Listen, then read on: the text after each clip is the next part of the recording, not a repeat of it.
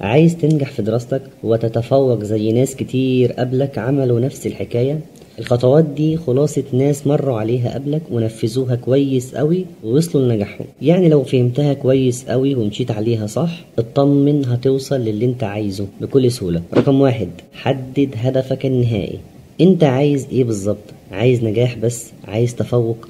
عايز تعمل حاجة جديدة محدش عملها؟ تمام. حدد الهدف اللي انت عايزه وقول لنفسك أنا عايز أعمل كذا بكل وضوح. تمام؟ يبقى أول حاجة حدد هدفك النهائي اللي انت عايز توصل له آخر حاجة. تاني حاجة قسم هدفك. بمعنى بعد ما تحدد الهدف الكبير بتاعك ابدأ حط لنفسك أهداف صغيرة توصلك للهدف الكبير بتاعك ده. زي مثلا هدفك تخلص الوحدة أو الدرس الفلاني بعد مدة معينة وتحل عليه امتحانات وتجيب فيها درجة كويسة أو هدفك تجيب درجة كويسة في درس بتاخده معين مع مدرس. أيا كان شكل الهدف الصغير ده إيه ولكن لازم تختار الأهداف الصغيرة دي عشان تحس إنك طول الرحلة عمال تحقق في أهداف لحد ما توصل للهدف النهائي اللي أنت عايزه. تالت حاجة كافئ نفسك. بعد تحقيق أي هدف من الأهداف الصغيرة اللي أنت عملتها لازم تعمل لنفسك مكافأة. اشتري مثلا شوكولاتة اتفرج على حاجة بتحبها اخرج خروجة صغيرة. يعني حسس نفسك إنك عملت إنجاز واتكافئت عليه. رابع حاجة الهمة العالية.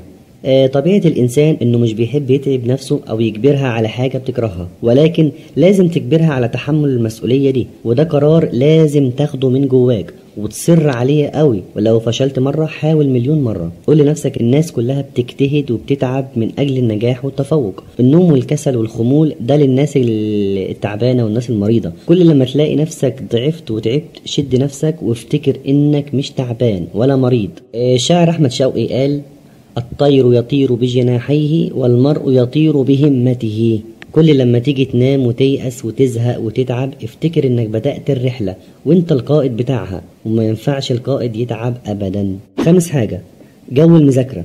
لازم تخلي لنفسك جو يليق بالرحلة اللي أنت بدأتها دي. لو أنت طبيعة المكان اللي أنت عايش فيه غير مهيئ تماما للمذاكرة بسبب الأصوات العالية اللي حواليك والكلام ده. بسيطة جدا أنت ممكن تغير الوقت كله بتاع المذاكرة.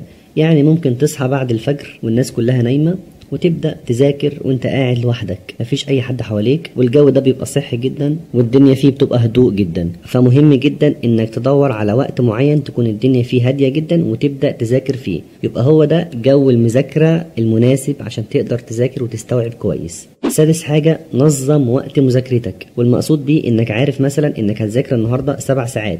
لازم تبقى محدد وقت البداية ووقت النهاية وتبقى حاسب كمان الراحة اللي هتريحها خلال الوقت ده كله. اوعى تقعد على الكتاب أكتر من ساعة متواصلة. لازم تذاكر 50 دقيقة مثلا وتريح 10 دقايق أو ربع ساعة عشان ذهنك يقدر يستوعب معلومات جديدة بسرعة بدون مشقة. سابع حاجة اخفي تليفونك أثناء المذاكرة. أثناء وقت المذاكرة اللي انت حددته انسى تليفونك خالص. وبلاش تحسب حتى الوقت بتاع المذاكرة بالتليفون. لا خلي جنبك ساعة أو منبه أو أي حاجة تاني. بس أرجوك ابعد التليفون عنك خالص خلال فترة المذاكرة دي. والربع ساعة اللي انت بتريحها بلاش تقعدها على التليفون. اعمل فيها أي حاجة تاني. اخرج اشرب حاجة اعمل فيها أي حاجة تاني. ولكن أثناء وقت المذاكرة ما تجيش جنب الموبايل خالص. 8 الترفيه وده معناه إنه لازم تخلي وقت معين في يومك حتى لو قليل جدا. بس تخلي الوقت ده تنبسط فيه. يعني تعمل الحاجة اللي أنت بتستريح ليها قوي. تتفرج على حاجة على التلفزيون. اعمل فيها كل حاجة أنت كنت حارم نفسك فيها أثناء فترة المذاكرة. أي حاجة أنت بتحبها أثناء فترة المذاكرة وما عملتهاش اعملها في الوقت اللي أنت هتعمله لنفسك ده.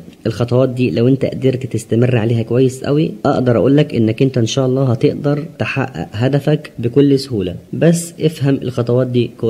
وحتى لو عايز تكتبها في ورقة اكتبها في ورقة وامشي عليها خطوة خطوة. يبقى هقول لك الخطوات التانية كلها بسرعة. أول حاجة حدد هدفك النهائي. تاني حاجة قسم هدفك. تالت حاجة كافئ نفسك. رابع حاجة الهمة العالية. خامس حاجة جو المذاكرة.